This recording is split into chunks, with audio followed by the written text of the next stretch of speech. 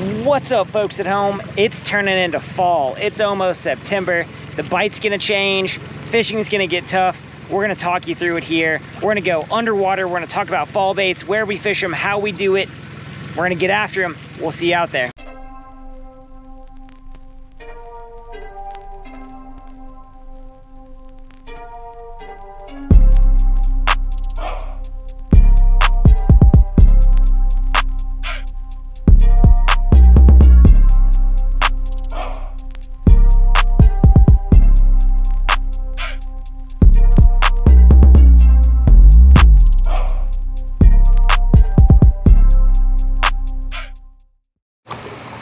All right, guys, when we're talking about fall fishing, we're talking about moving baits and finding transition areas. So what we have in front of us is a classic transition area, right?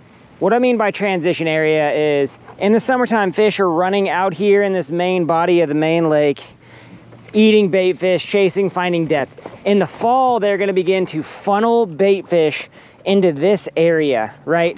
And I know, because I've winter fished this lake a lot and I've fished it on the ice, that fish spend a lot of time in this backwater back here. So in the fall, they're coming from out here in the main body, following these break lines in a transition area back through. Now, they're going to stop at every piece of cover on this that they can find, right? By cover on this, we mean there's a dock right there with a whole bunch of weeds out in front of it. That is a great spot to stop in the fall on transition area. Then you move on, there's lily pads back in this pocket, right?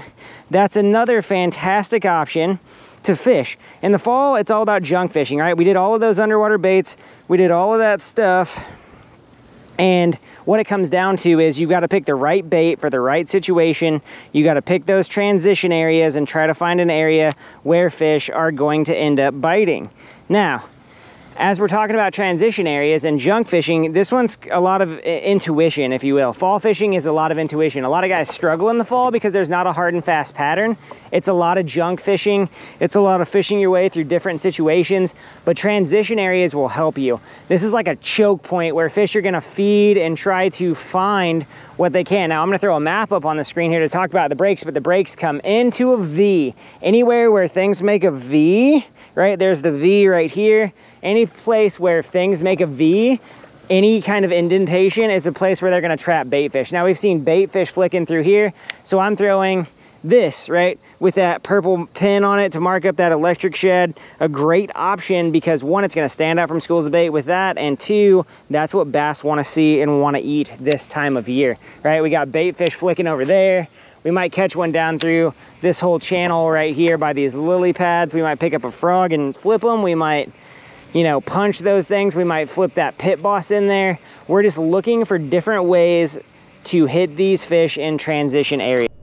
All right, guys, so when I'm throwing moving baits in the fall, I'm picking up the weedless swim bait on an underspin nine out of 10 times. This bait has an awesome head wobble here. We got the Keitech on an owner flashy swimmer, and this bait right here will flat out catch them. I pick up this bait when the leaves start to turn and I don't put it down until the water turns into the 30s. This bait right here has a great wobble. The Keitech with the extra dye on the tail in that electric shad color really, really does good in off-colored water around weeds and stick-ups. You can also skip this bait up under docks. You can fish it through pads. You can do a lot with it. It comes through just about everything great, and it's a bait that will generate a ton of bites for you. You just have to fish it everywhere. Now, the next bait I'm going to pick up is a chatterbait. And this time of year, I love chatterbaits with bluegill trailers. Here's a Biospawn Exocraw on it. Another great option. And I like to pop this chatterbait in and out of the dying vegetation and grass. Pause it, pop it, flick it. You can see the secondary action that trailer gives it. That Exocraw, I really like crawfish colored to bluegill colored baits this time of year as the water is cooling down. And it's just an excellent bait to get bit. After the chatterbait, I'm going to pick up the spinnerbait. Now, the spinnerbait is a bait that vibration is key on, but it also has a little bit more subtle action than the chatterbait. Spinnerbait has been overlapped in the last few years by the chatterbait, but this bait will get bit in any conditions, anywhere.